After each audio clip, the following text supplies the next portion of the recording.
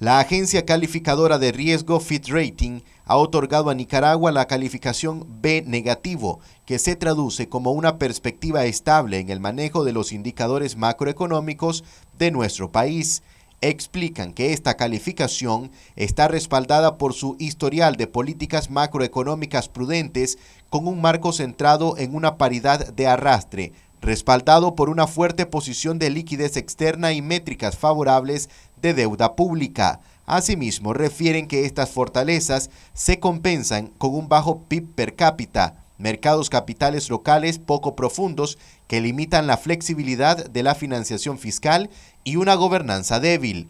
No obstante, resaltan que la economía de Nicaragua se ha mantenido bastante resistente a las sanciones internacionales relacionadas con la gobernanza, habiéndose recuperado más rápido de lo esperado de una larga recesión.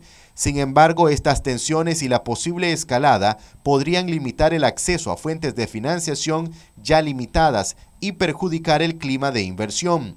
La agencia calificadora advierte que la continua erosión de los indicadores de gobernanza un posible endurecimiento adicional de sanciones y el clima más amplio de tensión con los principales actores mundiales plantean riesgos claves a la baja. Es decir, la puntuación de gobernanza mundial de Nicaragua se encuentra entre las peores de la región y en la categoría B destacan la recuperación económica que Nicaragua logró en el 2021 y que devolvió los datos de PIB real a cifras de 2017. El consumo privado y las remesas han sido claves para este resultado.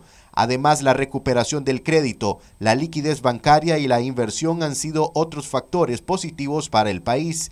Sin embargo, advierten las consecuencias vinculadas a la gobernanza, puesto que podrían ocasionar inestabilidad en las fuentes de financiación. Marcos Medina, Noticias 12.